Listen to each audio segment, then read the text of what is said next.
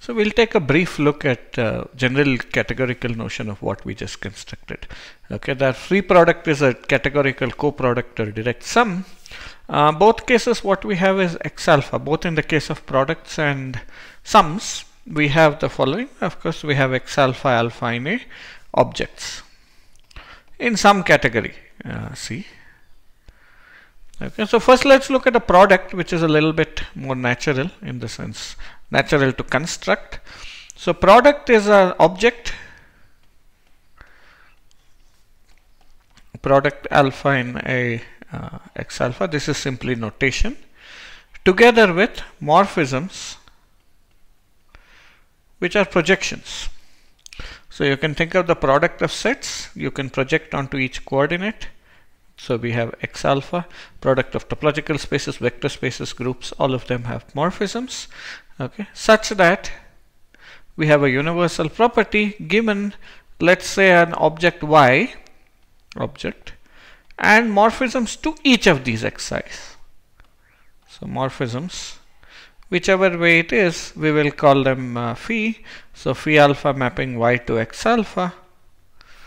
Uh, there exists a unique morphism well let's call it again capital phi mapping y to the product.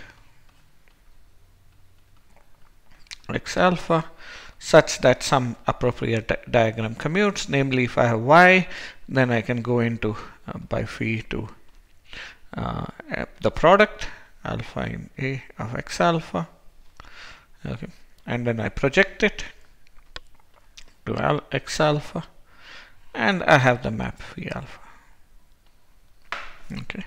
So if I look at the map into the product and then I project we get X alpha. Now in almost all cases we are used to seeing you have products of vector spaces groups topological spaces sets and so on. And in most cases the underlying set all the cases I've mentioned the underlying set is simply the product of sets. Projection map is the projection map. In the algebraic situations like vector spaces and groups and so on the algebraic structure is the obvious component-wise structure. But in topology, we have the slightly more complicated product topology. So if you have not seen this before, this will tell you why the product topology is defined in that way rather than the box topology or any other things. It's the categorical uh, product. Okay, for topological spaces and groups, groups this is particularly simple okay. Vector spaces it's uh, simple. Topological spaces only the topology is a bit complicated. Okay. But what we have if we dualize this we look at the co-product which includes the free product then things are more interesting and they become different in different cases. In particular as far as the sets are concerned the thing is uh, if you have a set with a structure you don't just get the same set uh, operation Namely, now let's just look at our co-product. It's almost the same as above. Only all arrows get reversed, by the way. That's why it's called co in category theory. Okay, so we again have X alpha. So co-product is an object which can be variously denoted as direct sum alpha in A, which will be the direct sum of vector spaces which in the case category of vector spaces which uh, let me remind you is given uh, is finite linear combinations of elements in the various x alphas. So any given vector will involve only finitely many of them even though the sum is uh, over a possibly infinite or uncountable collection okay. So this is denoted this way or sometimes it's denoted in often it's denoted this way standing for upside down product sign co-product sign. Okay. Let me use the first uh, sec second notation.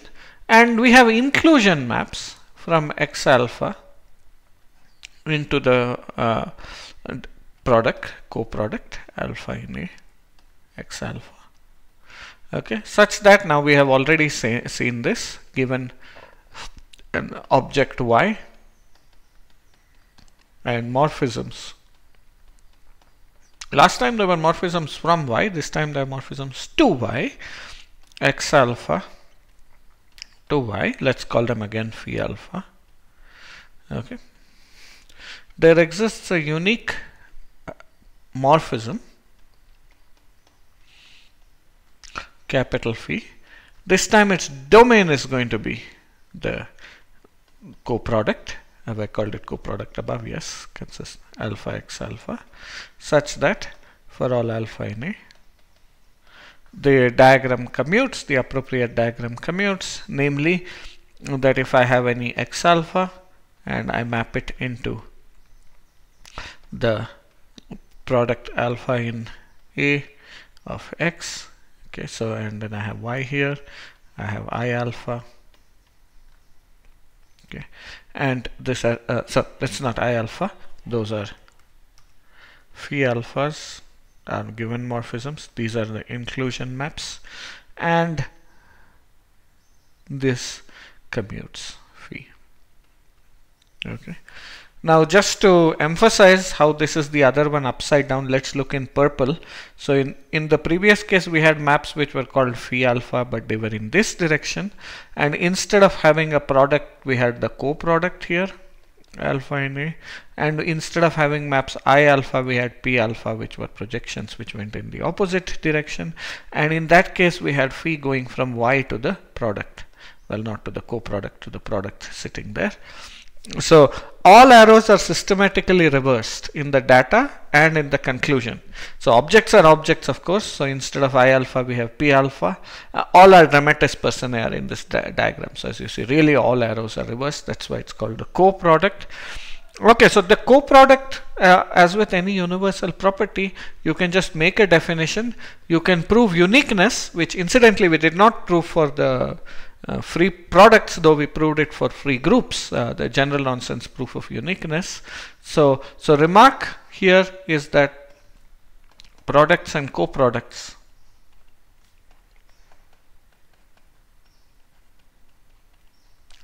are unique if they exist yeah, so they need not exist but they're unique if they exist. And the proof is the usual drill. For example with co-products if I had two different co-products I would get morphisms from one to the other using the universal property of the first one and thinking of the inclusions into the second one as just morphisms. Then flip the role you'd get a morphism the other way. You compose them you get morphisms from any of the candidates to themselves and identities give you other candidates. Uniqueness will tell you compositions are identities. I haven't written anything down but this is following the standard product. Same with patterns. So if co-products exist they're unique including our free products. And uh, products if they exist are unique. But co-products are a little bit different in nature. If I took topological spaces the co-products are disjoint unions okay? If I took groups you saw it's a somewhat complicated object called free groups. I already mentioned what is uh, what it is for vector spaces. It's going to be the finite linear combinations of elements in that. Okay? While product is arbitrary uh, terms. Okay? So one reason why the distinction is not so clear is the first categorical structure most people see will be vector spaces at this level. And the product and co-product for finite ones coincide with each other because of the coefficients here okay? But otherwise they're different. Well what about based spaces? If i'm looking at based spaces you can see that the co-product is actually the space obtained by gluing together all based points and that will give you a based space. It's an interesting exercise. So i'll just say it as an exercise before we leave uh, this abstraction which is the based uh,